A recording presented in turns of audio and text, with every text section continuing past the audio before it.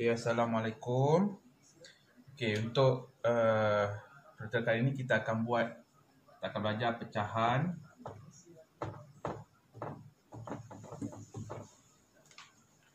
tidak wajar dan juga pecahan nombor bercampur.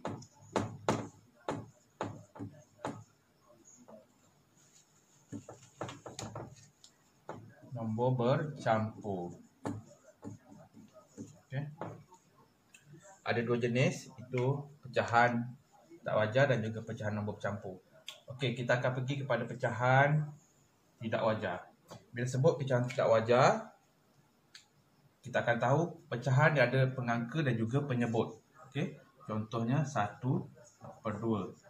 Ini kita panggil pengangka.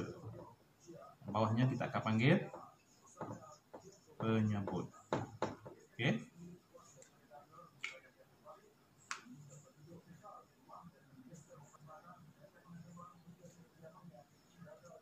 Okey di tahun 3 mungkin kita dah belajar berkaitan dengan pecahan wajar. Okey, kita sebenarnya ada tiga pecahan tidak wajar, pecahan wajar dan juga pecahan nombor bercampur. Okey. Ini adalah contoh pecahan wajar. Pecahan tak wajar maksudnya sekarang adalah penyebut lebih besar daripada pengangka. Contohnya 4 per 3. Okey, contoh lagi 7 per 5 Contohnya lagi 3 per 2. Ini adalah ini semua kita panggil pecahan tidak wajar. Okey. Okey, mungkin uh, kamu semua boleh tahu lah eh ataupun boleh fikirkan apa-apa pecahan yang boleh katakan pengangkanya lebih besar daripada penyebut. Itu adalah pecahan tidak wajar. Bagaimana pula pecahan nombor bercampur? Pecahan nombor bercampur apabila ada nombor bulat bersama-sama dengan pecahan. Okey. Contohnya pecahan nombor bercampur contohnya 1 1 per 2 ataupun lagi 3 1 per 4. Okey. Ini adalah nombor bulat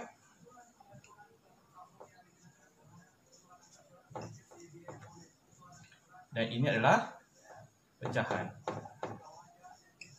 Jadi dipanggil nombor bercampur.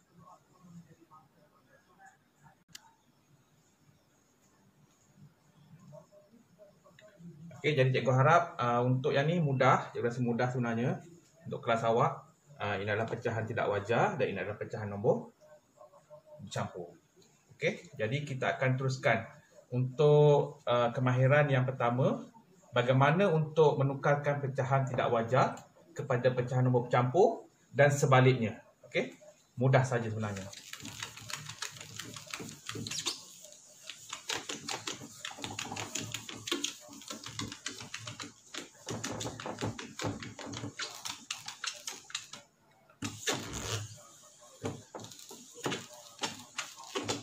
Maaf eh tulis kecil sangat.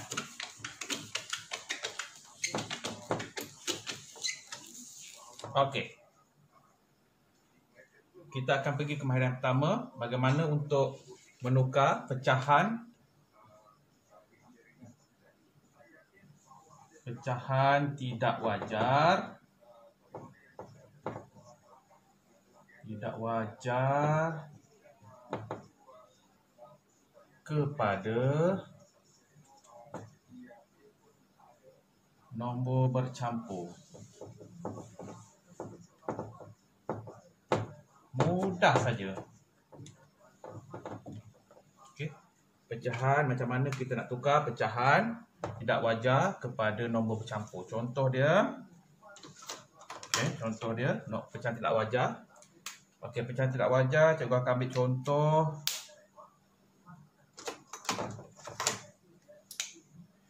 um, 5 per 3 5 per 3. Jadi bagaimana kita nak tukarnya? Senang saja kita gunakan operasi bahagi. Okey. Jadikan 5 dibahagikan dengan 3. Okey. Kita cari jawapan saja. Sifir 3. 3 darab 1. 3 tolak makinya 2. Jadi kat sini kita dah dapat. Okey, kita akan ambil ikut pusingan jam, arah jam. Kita ambil daripada atas, turun bawah, naik ke atas. Okey, ini jadi yang nombor pertama, nombor kedua, nombor ketiga. Jadi jawapannya adalah kita ambil daripada atas satu nombor uh, nombor nombor nombor bulat. Ini dua pecahan satu dua per tiga. Okey, mudah saja sebenarnya. Okey, contoh lagi yang besar sikit kita ambil uh, 8 per 5 contoh. Sekarang ke macam mana kita akan buatkan? Contohnya 8 dibahagikan dengan 5. Sifir 5 5 darab 1 5 tolak jawapannya ada 3. Jadi macam biasa kita akan buat ikut arah jam. Kita akan ambil daripada atas, turun ke bawah, naik ke atas balik. Jadi kita ambil berapa? 1 3 per 5. Okey. Mudah kan? Senang saja sebenarnya. Okey, satu turun ke bawah, ambil atas. Okey.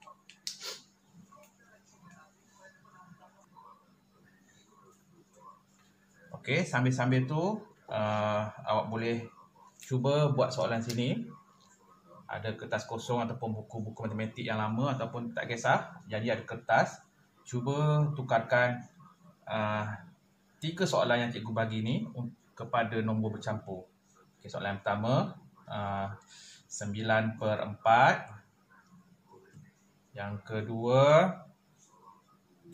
8 per 3. Dan yang terakhir, 11 per 6. Okay. Okay, kalau ada masa sambil-sambil awak tengok video ni, awak cuba buat yang ni, yang tiga soalan ni. Apa jawapan dia? Okay.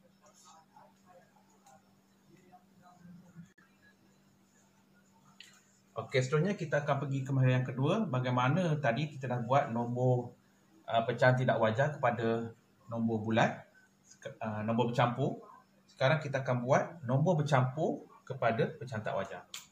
Okey, pecahan nombor bercampur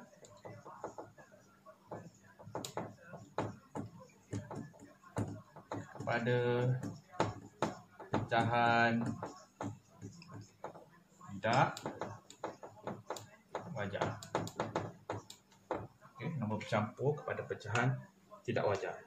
Okey. Contoh yang tadi, cikgu ambil yang senang 1 3 per 5. Okey. Sebenarnya nombor bercampur kepada pecahan tidak wajar lebih senang sebenarnya. Kita hanya menggunakan kaedah darab dan juga tambah. Okey. Nombor yang di bawah darab dengan nombor bulat tambah dengan yang atas. Okey, jadi kat sini awak nampak 5 darab 1 5 tambah 3 8 jadi 8 per 5 okey mudah saja Okey, seterusnya. 2 1 per 4 Contoh eh. 2 1 per 4 Basic yang sama juga. Darab 4 darab 2 Tambah 1 Okey, 4 darab 2 8 Tambah 1 9 Jadi 9 per 4 Mudah kan? Okey, contoh lagi. Uh, 1 2 per 3 Contoh. Agak-agak apa jawapannya? Okey. 3 darab 1 tambah 2. 3 darab 1, 3 tambah 2, 5. 5 per 3. Okey. Mudah saja. Okey, jadi untuk tu, sambil-sambil ada contoh kat sini. Cuba pada kertas kosong juga, cuba buat soalan ini. 3, 1 per 4. 1 2 per 5 ok Okey, dua soalan saja. Cuba buat yang ini. 3 1 per 4, 1 2 per 5. Okey, boleh cuba.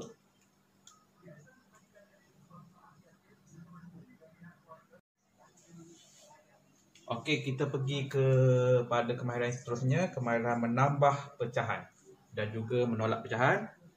Nanti kita akan ada tambah dan tolak pecahan. Tapi yang pertama kita akan pergi kepada menambah pecahan ataupun tambah pecahan. Okey, tambah pecahan. Okey, untuk tambah pecahan ataupun tolak pecahan, prinsip dia mesti satu saja. Kita mesti samakan penyebut. Ingat lagi tak penyebut yang mana? Penyebut yang bawah. Okey. Maksudnya kalau penyebut dah sama, kita terus tambah. Okey. Mudah saja. Contoh kalau untuk uh, penyebut yang sama. 1 per 5 tambah 3 per 5. Penyebutnya adalah sah, sama. Jadi kita tak perlu ubah apa-apa. Kita terus tambah sahaja. 1 tambah 3, 4. Jadi yang bawah ni buat apa? 5 tambah 5 ke? Tak perlu. Yang bawah kita kekalkan 5. Okey, jadi 4 per 5. Okey, ini untuk penyebut yang sama. Contoh yang lain, kalau cikgu bagi lagi, 2 per 8 tambah 1 per 8. Penyebut yang sama juga, jadi kita tak perlu ubah apa-apa. Terus tambah saja 2 tambah 1, 3. Yang bawahnya adalah 8. Okey, itu untuk penyebut yang sama. Okey, untuk seterusnya bila penyebut tak sama, macam mana kita nak buat? Kita mesti samakan penyebut. Okey. Okey, untuk uh, penyebut yang sama cikgu rasa tak ada masalah lah untuk awak buat. Sebab kita terus tambah saja. Cuma kali ini kalau ada yang penyebut tak sama, macam mana nak buatnya? Okey, cikgu akan tunjukkan. Okey. Contoh yang pertama adalah 1 per 2 tambah 1 per 4. Okey, ingat balik prinsip untuk tambah pecahan mesti samakan penyebut. Penyebut sama tak? Tak sama kan? Jadi kita akan tengok pada nombor yang paling kecil. Nombor 2 adalah kecil, nombor 4 adalah besar. Kita tengok sifir ni adalah 2, kita gunakan sifir 2. 2 darab 2 kena jadikan penyebut sama. Jadi atas pun kita akan darab dengan cool. Okey. Jadi kita akan buat pecah yang baru. Daripada yang kita dah buat ni, kita akan turun ke bawah. Satu dah dua, dua. Okey, yang ni kita akan tukar kayu warna biru. Yang ini akan jadi dua per empat. Yang ini kekal sahaja satu per empat. Okey. Sekarang penyebut dah sama belum? Dah sama kan? Jadi baru kita boleh tambah. 2 tambah 1 3 4 tambah 4 4 Tu ke 4 tambah 4 4 kita tak payah tambah bawah eh? Jadi 4 penyebutnya adalah sama saja 4 Okey eh? Ini untuk nombor yang boleh didarab terus. Contohnya 2 Darab 2 4 Contoh yang kedua Contohnya 3 per 4 tambah. 2 per 8 contohnya. Ok 1 per 8 ok sifir mana kita nak tukar kita akan sifir ambil nombor yang paling kecil. Sifir 4 4 darab 2 atas pun darab 2 ok jadi kita tukar. Tukar balik. 6 per 8 Tambah 1 per 8 Samaan 7 per 8 Okey. Ini untuk Sifir Yang boleh didarab Okey. Bagaimana pula kalau sifir yang bawah dia penyebut dia tak sama langsung. Maksudnya tak sama. Contohnya macam soalan begini. Okey, contohnya soalan begini. Contoh soalannya 1 per 3 tambah 1 per 2. Okey. 1 per 3 tambah 1 per 2. Okey, tadi cikgu terangkan tadi kita akan ambil nombor yang paling kecil. Kita akan cuba darabkan untuk capai dapat jawapannya. Sekarang kita gunakan sifar kecil 2 tak mampu, tak boleh darab 2 darab 1 jadi 2, 2 darab 2 jadi 4, tak boleh jadi 3. Jadi macam mana nak buat? kita akan buatkan darab silang.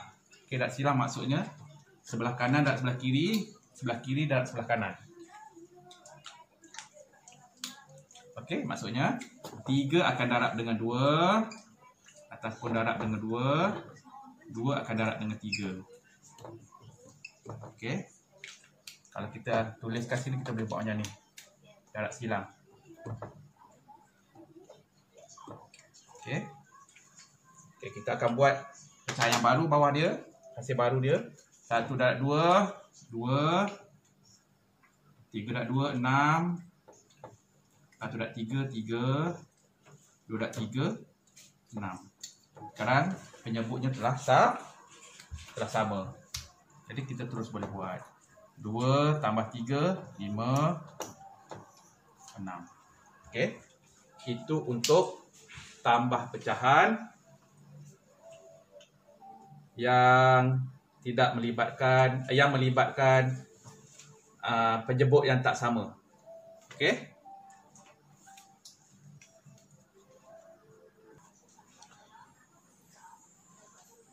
Okey, contoh lain untuk penyebut yang tak sama. Kita akan ambil satu lagi contoh. Uh, 1 per 5 tambah 1 per 2 ha, contoh. Okey. Sama juga macam tadi yang sebelah sini. Sifir 2. Untuk sifir 2 takkan ada sifir 5. Okey, sifir 5 takkan jadi 2. Jadi kita akan buat uh, darab silang lah. 5 darab 2 ataupun darab 2 2 darab 5 1 darab 5 Ingat eh, untuk macam ni kita kena darab yang sama Kalau atas bawahnya 2 Atas pun dua. Kalau bawahnya tiga, atas pun tiga. Okey, jadi kita akan ubah pecahan ni. Satu darab dua, dua. Lima darab dua, sepuluh. Tambah satu darab lima, lima. Dua darab lima, sepuluh.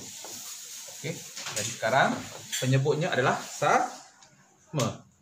Jadi kita terus tambah saja. Dua tambah lima, tujuh. Penyebutnya kita tak berubah. Okey, 7 per 10. Okey. Ini untuk tambah dua dua pecahan. Jadi sekarang kita akan pergi tambah tiga pecahan. Okey, tambah tiga pecahan. Sama juga prinsip tadi yang saya cikgu sebut tadi tu. Untuk tambah dan juga tolak pecahan mesti samakan penyebut. Lagi tak sama jangan ngada-ngada nak tolak ataupun tambah. Okey. Okey, contohnya untuk